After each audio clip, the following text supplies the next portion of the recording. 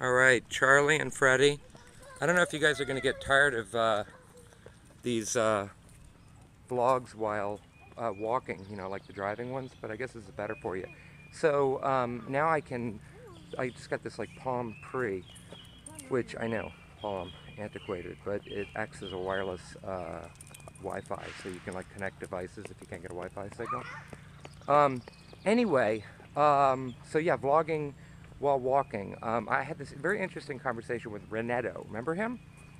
People think we uh, don't like each other, but I actually like him a lot. Paul's a good guy. And we were talking about the functionality on YouTube and how it's it's it can be very frustrating for people that use YouTube a lot, and and for people that are new to YouTube. So, for instance, if you've ever had somebody like if I say, "Mom, go check my most recent video," she can't figure out how to do that. You got to go to the channel page, toggle between the most viewed. It's a pain in the butt. And then there's this other factor where if you're oversubscribed to people, but there's some people you really want to follow and you really want an alert, you can't what I call super subscribe. So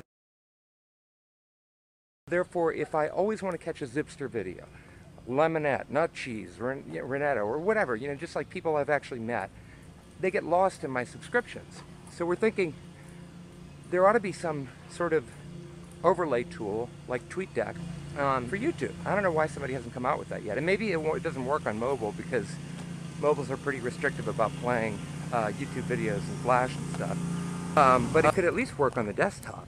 And it could allow you to sort of customize YouTube to make it MeTube. Um, where you could control who you see. Um, you know, you could easily find the top rated videos, not just of the most popular, but the most popular people that you follow. So, what are your other wish lists? If you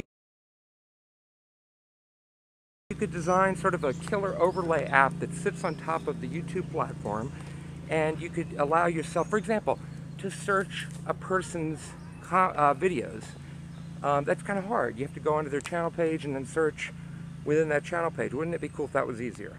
Or there's a functionality you may not know about, uh, youtube.com backslash comment underscore search, where you can search comments.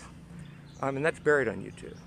So there are all these functions that, and, and, and then God forbid you want to go to the comment section, you got to go to the channel page, find the video that you want, and figure that out. Then you got to click the, the link. Then you got to go to all the channel pages and you got to view all comments, and it's like 10 steps. So, so an app on top of the platform seems to be something we could all use.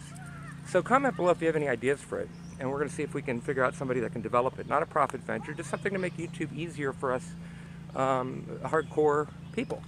And here comes Grant on his bike. I guess I better start paying attention now. Later. Let me know what you think. Between me and you, though. What?